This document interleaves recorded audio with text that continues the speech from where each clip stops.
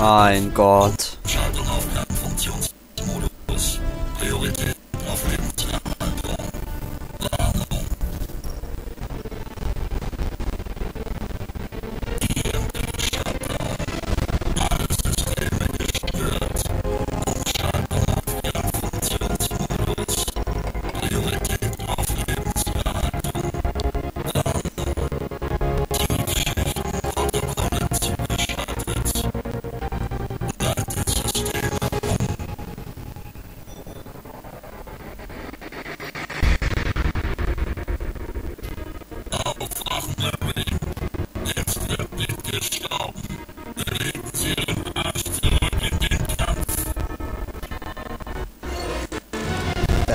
Redet mit mir. Langsam fange ich an, mir Gedanken zu machen.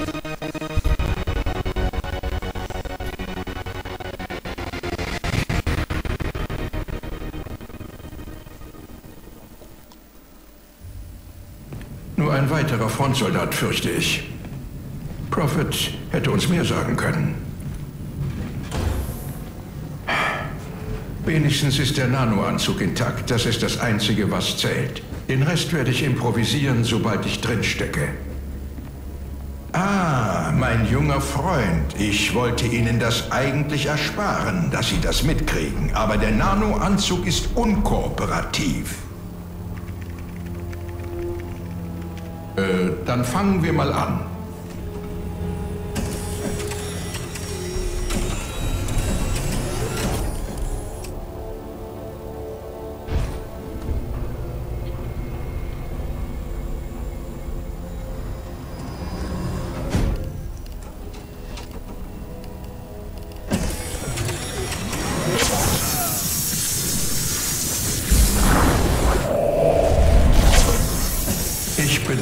Diesen Verrat wirklich, aber ich habe leider keine Wahl.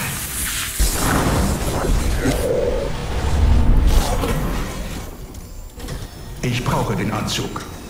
Diesen speziellen Anzug, damit überhaupt Hoffnung besteht, die Seth jemals aufzuhalten.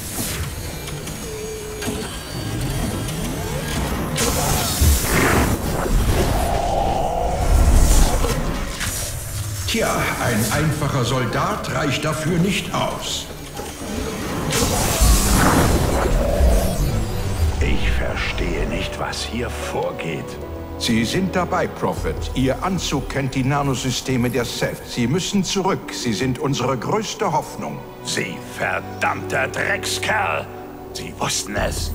Sie wussten, dass die Anzüge symbiotisch sind und was sie mit meinen Männern machen würden. Sie haben wandelnde Leichen aus ihnen gemacht. Ich habe Sie zu posthumanen Kriegern gemacht. Sie sind ein Soldat. Betrachten Sie es einfach als notwendiges Sie haben uns belogen! Tja, vielleicht bin ich wirklich zu geizig mit der Wahrheit umgegangen. Aber welche Wahl hatte ich denn? Und welche Wahl haben Sie jetzt? Die Seth kommen, Prophet. Schon bald. Glauben Sie, wir können sie mit normalen Soldaten besiegen? Diesen Krieg können normale Menschen nicht gewinnen. Das ist die Zukunft. Der Tod ist eine Unannehmlichkeit, sonst gar nichts. Wir alle sind so gut wie tot. Der Anzug verweigert die Trennung. Er überlebt. Haltet ihn auf. Tötet ihn, falls nötig, aber beschädigt nicht den Nanoanzug. Nur Kopfschüsse. Netter Versuch, Blechdose. Sagen Sie gute Nacht.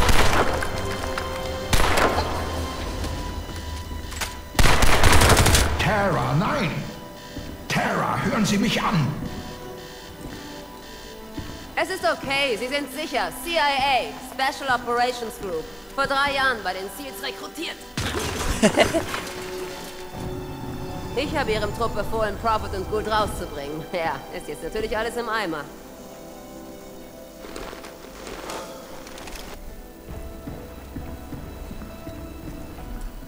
Okay, für Erklärungen ist später Zeit. Jetzt brechen die Saphir rein und wir müssen Hargreave rausschaffen. Der Mann ist völlig verrückt. Er hält sich für den einzigen kompetenten Menschen auf der Erde. Aber er hat wichtige Informationen über die Seth. Er hat vor 100 Jahren in Tunguska ihre Technologie gestohlen und arbeitet seitdem daran. Vor drei Jahren war er der Drahtzieher hinter der Sauerei auf Ling Shan, bei der mein Vater getötet wurde. Er hat einen Plan, wie man der Invasion begegnen kann, und den müssen wir rauskriegen. Er sitzt auf der Führungsetage fest, dadurch schwer bewacht. Er darf zu niemandem Kontakt haben. Glauben Sie mir, ich hab's ausprobiert. Sie müssen einbrechen.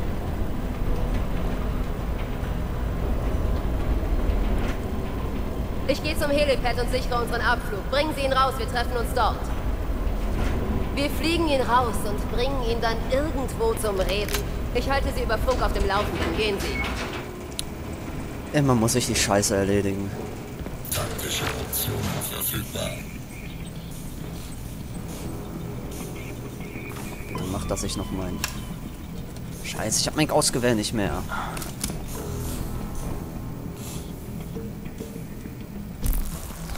Tarnfeld aktiviert. Links in meinem Schussfeld. Finde Jacob Hargreave und stelle ihn.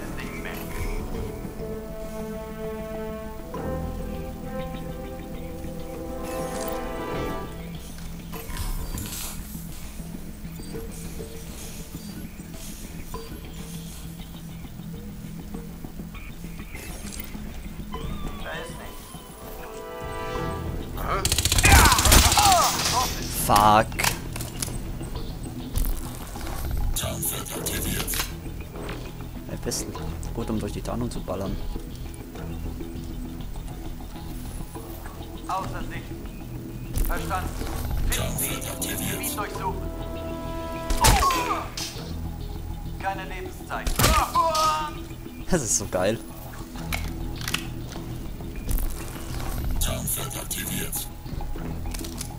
Pistol behalte ich.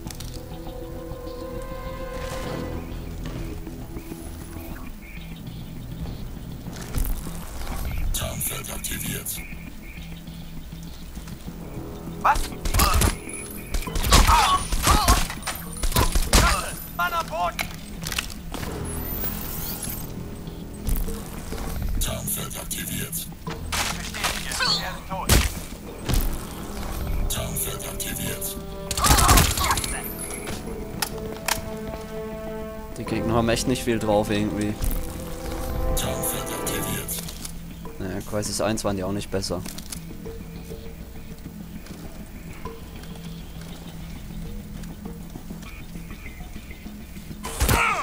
Ey, wieso macht er keinen Stealth-Kill? Mann.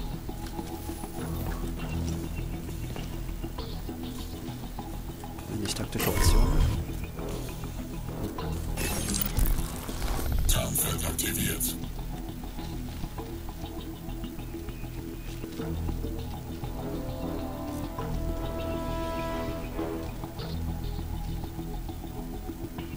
Toll, sehr viel Holz hier oben auch nicht.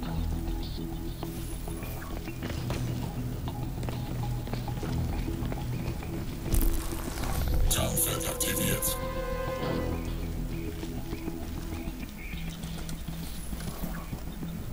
Ich jetzt genau zielen mit dem Teil.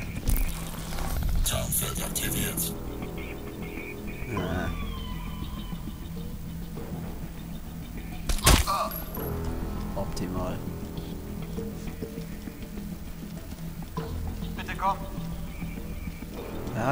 Keine Angst.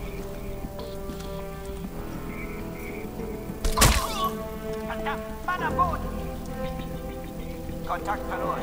Verwende GPS für Sektorendurchsuchung.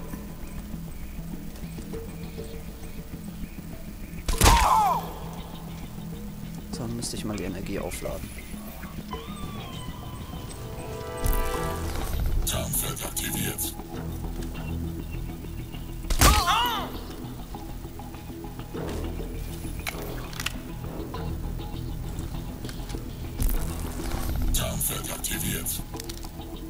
Das waren sie schon alle.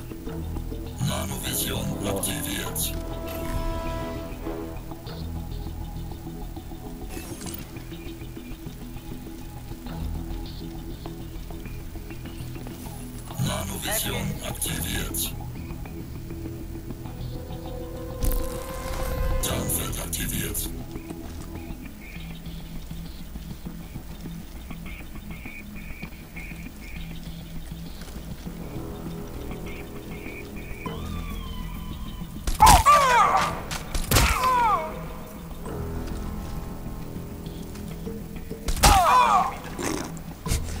Ist zu geil.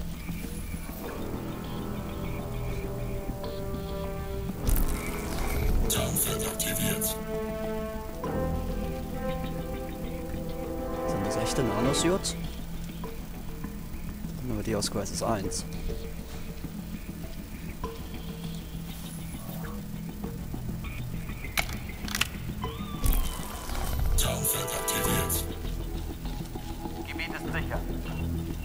Sicher? Zeig mal, wie sicher. Ungefähr so sicher. Ich mache gerade jeden einzelnen mit der Billigpistole platt. Tarnfeld aktiviert.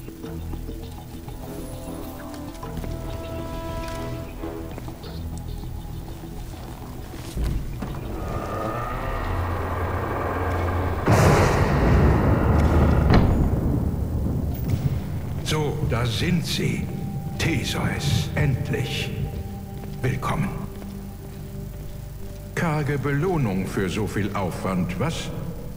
Wer das Labyrinth knackt, will doch wenigstens den Minotaurus sehen, bevor er getötet wird. Nun, das wäre nur fair. Also gut, Masken runter. Ich bin hier.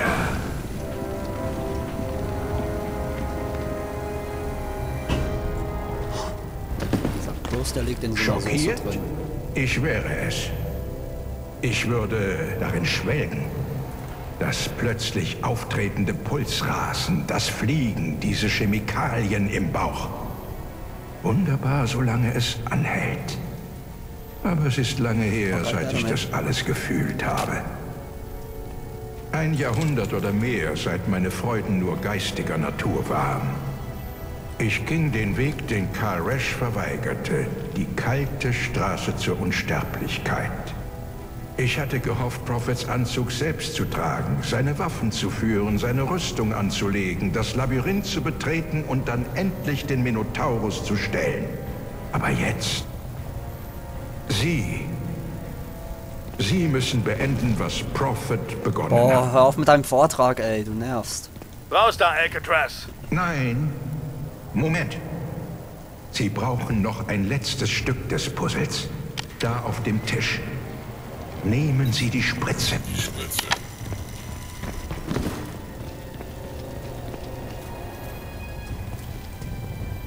Ähm.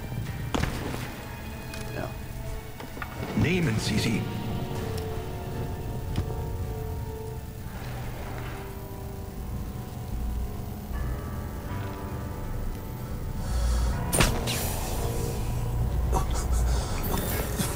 Ja, da. Die Tunguska-Iteration. Der Schlüssel zu allen Toren.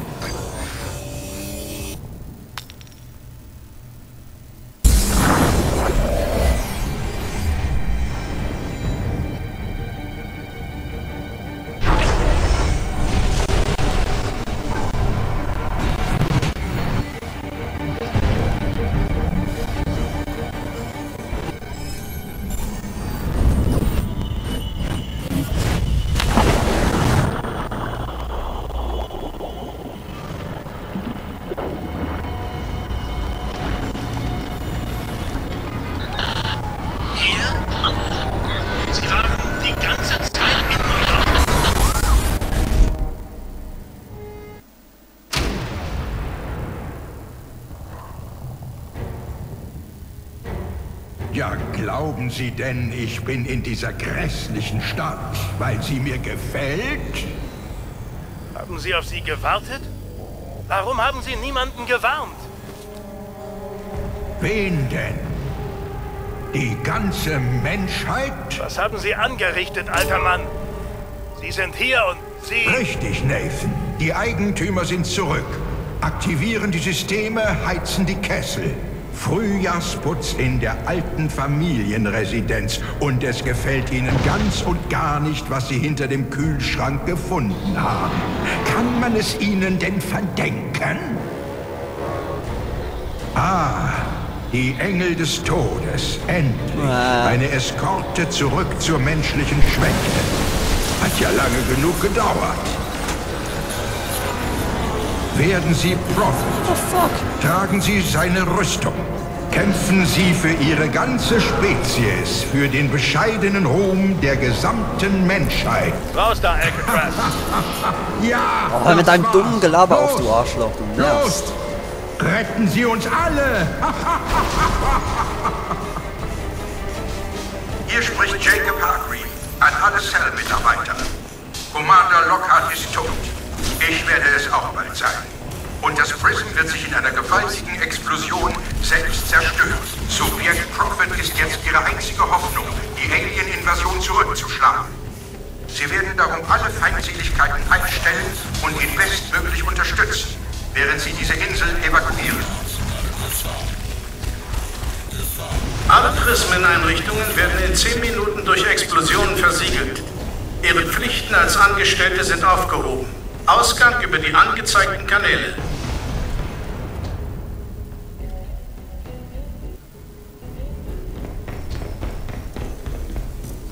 Oh Mann, schwere Entscheidung. Das Ding oder ein Gaussgewehr. Ich habe keine Ahnung. Schaden ist gleich.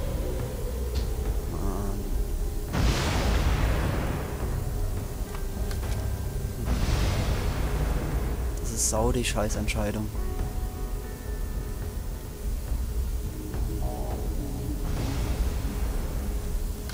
Ich nehm's Gaussgewehr. Scheiß drauf. Ich mach's so. Nee, das ist ziemlich dumm. Ich behalte beide.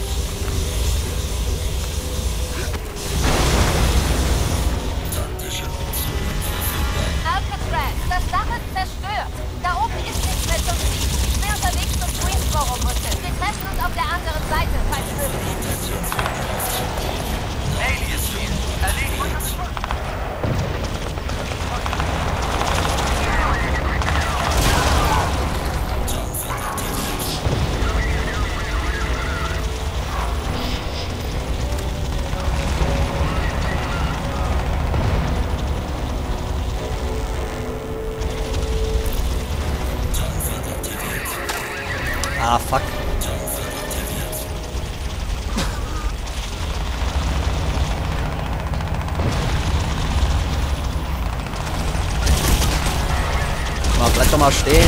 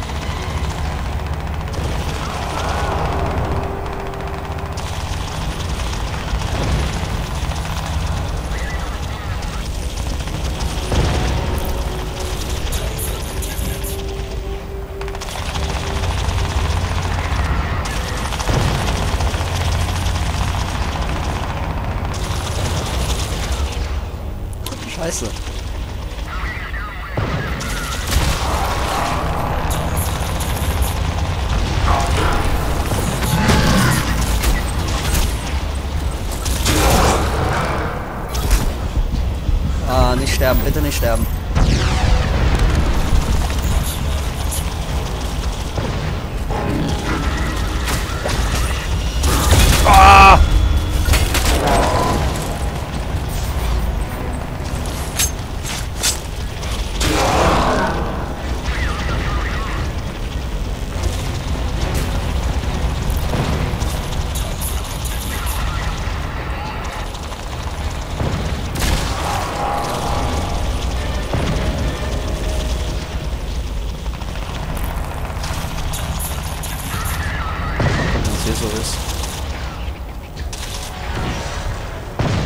ich gar nicht hin, oder? Egal.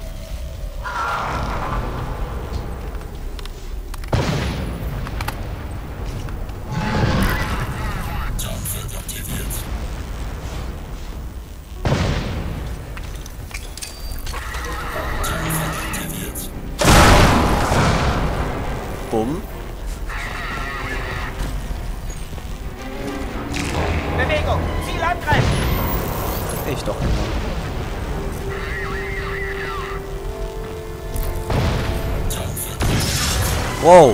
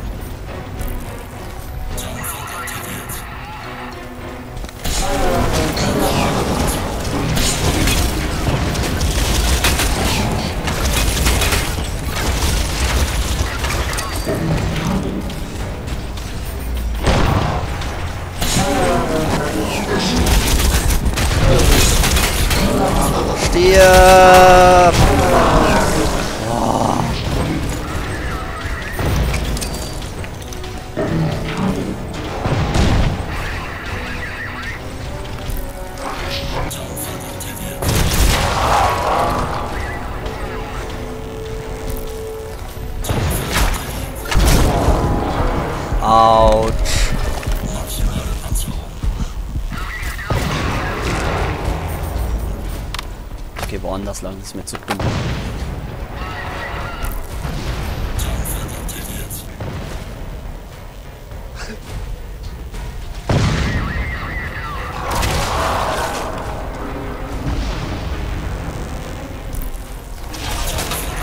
Wie Sie mich wieder sehen können.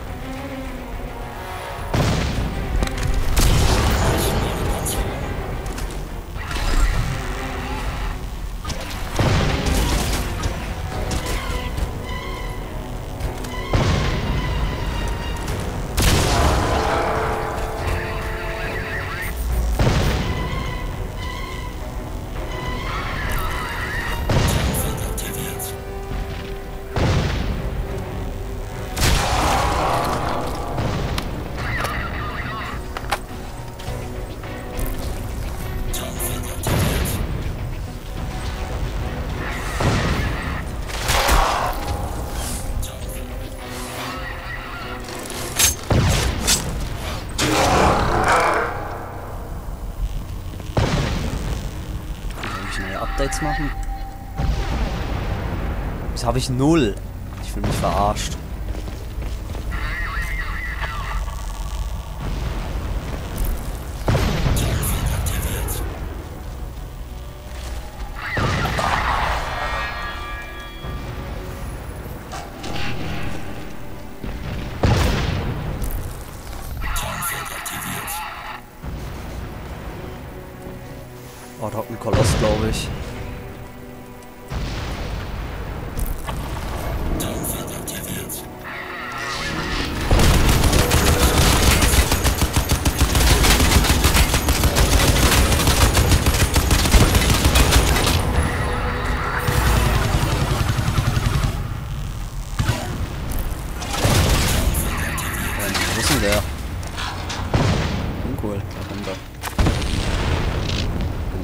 Dich selbst in die Luft.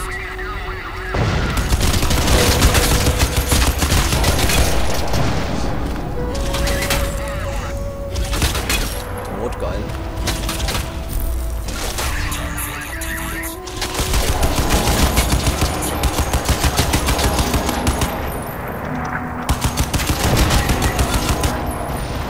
Das wäre mal das Geschütz hier hingestellt hat, danke.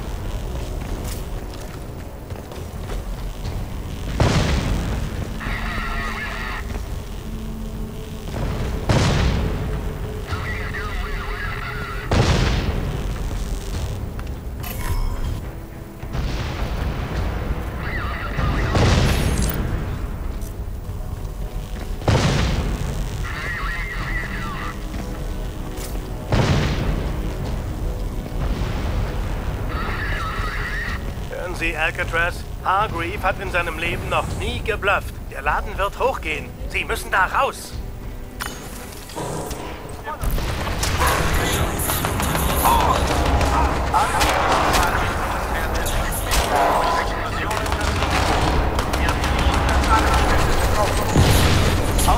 Kommst du her, sag mal. Ja, Weiter, Alcatraz! ich glaube, die Typen sind jetzt auf meiner Seite. Schnell! Los! Das ist nicht sein Ernst, was der da macht, oder? Super. Du Spaß, lass mich an das Geschütz.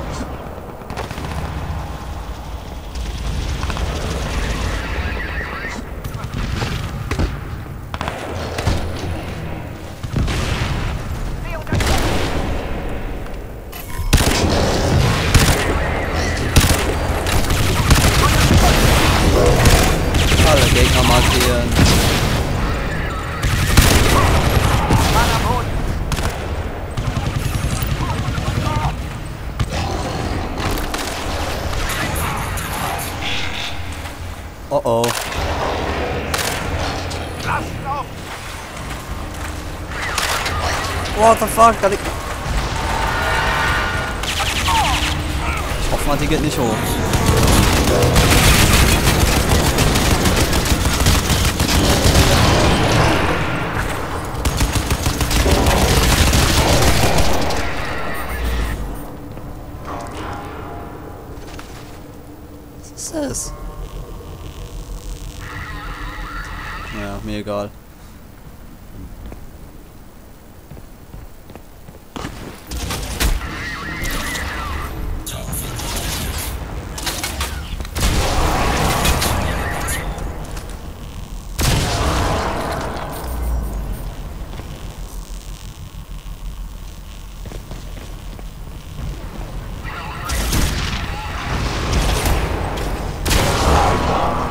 Alter, die größten Mistviecher mache ich mit einem Schuss platt, ist ja geil.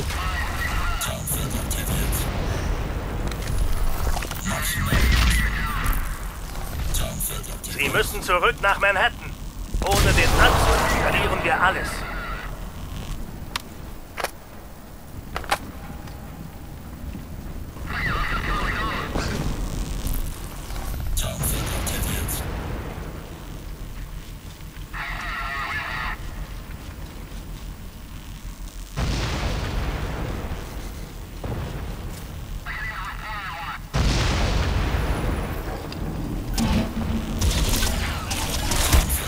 Fuck?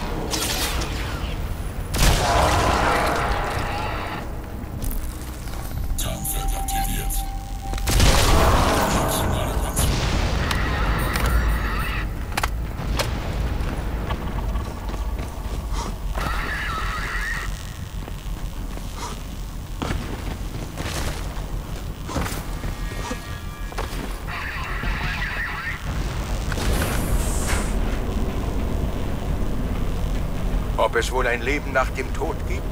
Engelschöre? Oder eine Flammengrube? Man vergisst diese Bilder mit der Zeit.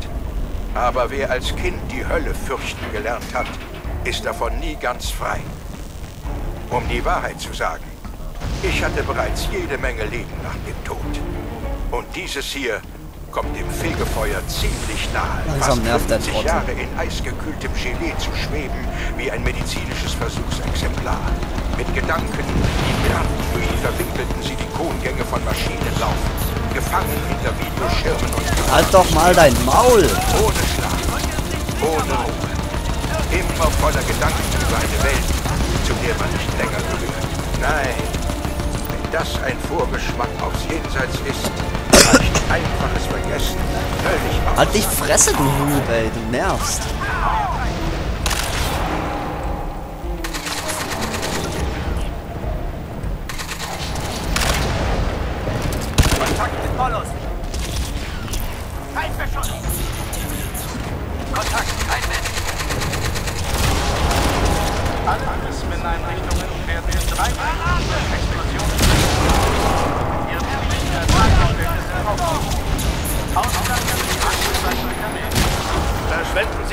Zeit, Alcatraz. Über die Brücke. Ich kann irgendwie nicht springen. Jetzt geht's.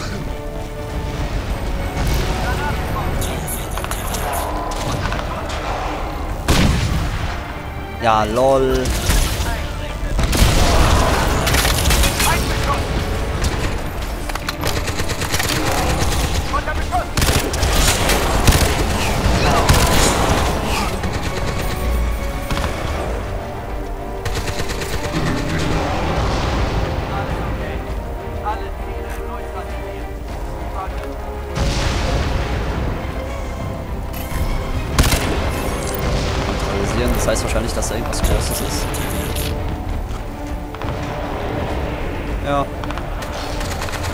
Zwei von denen.